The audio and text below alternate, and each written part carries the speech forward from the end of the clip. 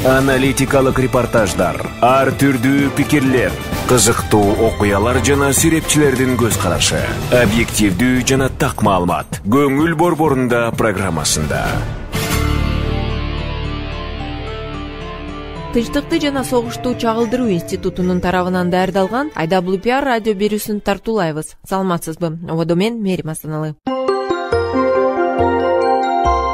төртүнчү октябрда кыргызстанда кезектеги парламенттик шайлоо өтөт. Ага катышуу ниетин билдирген отуздай партиянын он төртү гана бшк тарабынан каттоого алынды. Бүгүнкү күндө партиялар талапкерлер тизмелерин аныктап күрөөгө коюлчу каражаттар төккөнгө үлгүрүштү.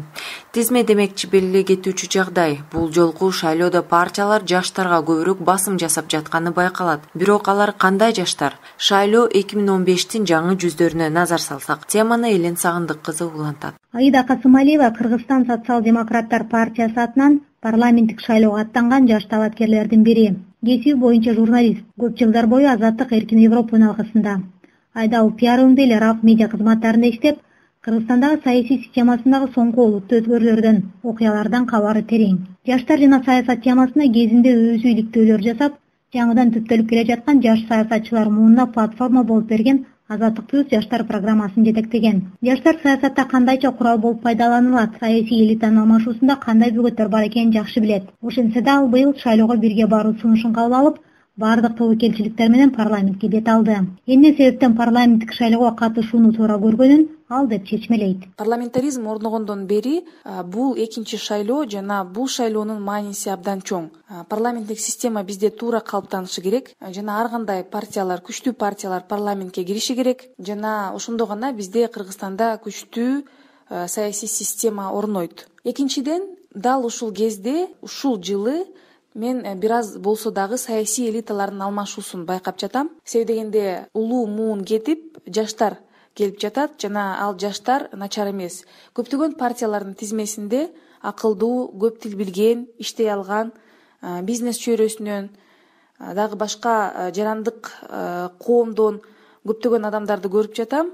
Ошондой жаштар жаңы муун парламентке көп келсе бул биздин өлкө үчүн абдан жакшы. Үчүнчүдөн мен топтогон тажрыйбамды жана кызыккан чечким келген көйгөйлөрдү парламентке келип мыйзамдар аркылуу чечким келет. Дейт аида касымалиева. Белгилей кетүү керек ал депутаттыкка аттанган бийликтеги социал демократтар партиясы быйыл өз катарын жашартып жаңылоо аракетин жасаган партиялардын алдыңкысы болду чынында тизме маселесинде партиянын саясий кеңеши шайлоо алдында электорат көңүлүн берүү үчүн болгон аракетин жасаганы байкалат. Бул нерсе партия ичинде конфликтке да алып барган сыяктуу айталы ошол эле социал демократтар партиясынын жаштар канаты саясий уюмдун курултайы өткөн соң тизмеге сырттан көп киргизилип алар көңүл сыртында калганын ачык айтып билдирүү таратышты. Социалдык түйүндөрдүн биринде партиянын жаштар канатынан ачылган баракчада деп жазылат. Партияда жүргөн жаштар колдогон ринат самудиновдун тизмектин аягында экени өкүндүрөт. Мактагандык болбойт бирок ишине карап баа берсе болот. Ринат самудиновду тизмектин артына киргизүү менен сдпк партияда жүргөн жаштардын намысына тийип партияга болгон ишенимди жокко чыгарды.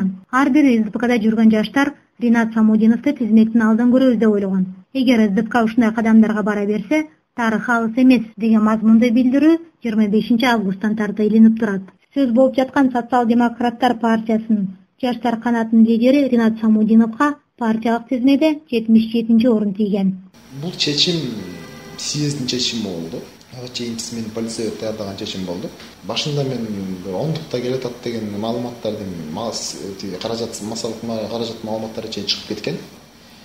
Анан бир кандай себептер менен артка жылгам да. Анан мен баягы мамлекетчил болгондон кийин мамлекетчил деген мамлекетти курууга баягы курууда эң негизги мыйзамды сыйлоо э, партиянын ички баягы партиянын үз катары бекитип келаткандагы ичкиндеги эле процедура сыйлоо сыйлаган адам катары съезддин чечимине мен макулмун да. Бул бул нерсе мындай да. Э, съезддин делегаттары ошондой чечтиби значит ошону э, баягы макул болуп эми биздин функция ошол келген депутаттарды эффективдүү иштетиш керекпиз деп ринат өзү бул тууралуу болушунча сыпайы жооп узатат. Белгилей кетиш керек партия талапкерлер тизмесин жаштар атынан бул шайлоодо белгилүү журналист азаттыктын кабарчысы болуп иштеп жүрүп быйыл жазда президенттин пресс катчылыгына келген жанар акаев баштап баратат бирок коомдо эл ичинде таанымал болуп калган жаш журналист бийликтин кезектеги куралы болуп атат деген пикирдегилер да бар. Шайлоо алдында саясий партиялардын өткөргөн курултайларына тыкыр байкоо салып талапкерлер тизмесине анализ жасап ийүүгө үлгүргөн журналист байкоочу кудрет тайчабаров жаштарды саясатка аралаштырабыз деген демилге же аракет формалдуу түрдө гана болуп жатат дейт. Списокко кирген жаштардын эме ондукка киргендердин саны саналуу эле. Алардын себептери бар. Мисалы сдпкда жанар акаев жетинчи болуп жүрөт. Э, бул деген президент жана биз жаштарга басым жасайбыз деген э, саясатты алып чыкпады беле ошол ошонун негизинде жанар бийликтин партиясы ошондон аброй алуу максатында ушу жанарды тартышкан да жанар ушундай кандай десем ушул саясаттын куралы болуп ошого макул болуп барган да ал эми ата мекенде ондукта жомарт сапарбаев бар анан турсузбек момашевдин кызы айсулуу болуш керек менимче ошолор бар алардын эмеси мисалы жомарт сапарбаев ал текебаевдин бир тууган бажасы да ал мындай туугандык немеге салып ушул тизмеге илинип калды ал эми айсулуу мамашева бул ушул кандай десем партия талап кылган баардык шарттарга жооп бере жооп бере алды да. Мисалы акча жагынан анан квота бар эмеспи. Аялдар квотасы анан жаштар бул эки немеге талапка бир жооп берип калды ошон үчүн илешти анан республиканын катарында э, алтынчы номерде жыйырма жети жаштагы бала турат балыкчыда жекшен деген спирт заводунун немеси бар болчу ошонун баласы да мындай колунда бар кишинин баласы. Өзү дагы аэропортто иштеп жүргөн.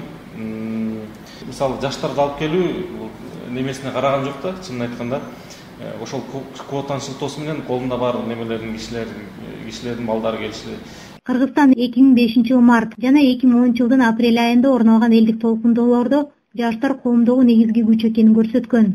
Бийликке жаштардан тартабыз. Кыргызстандын жаңы элитасын түптөйбүз жаңычыл жаштарды бийлик серисине тартабыз өңдүү убадалар байма бай берилгени менен максатына жеткен күчтөр бийликке келери менен аларды адатта унутта калтырышкан.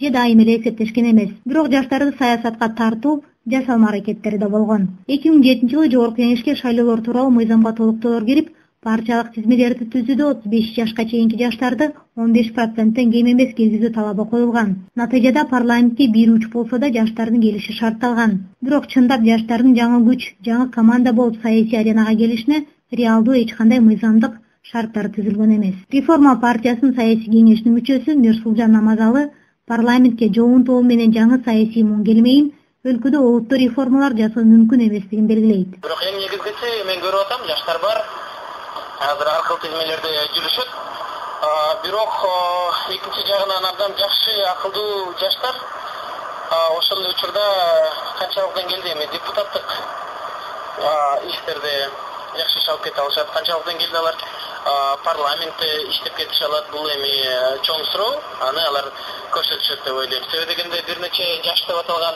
депутаттар мурдакы шайлоодо деле келген. Мисалы үчүн ширин айтматова менин эски досум жомарт сапарбаевдер бирок алардын кандай жыйынтык көрсөтө алышты ушул абдан мен үчүн абдан чоң суроо.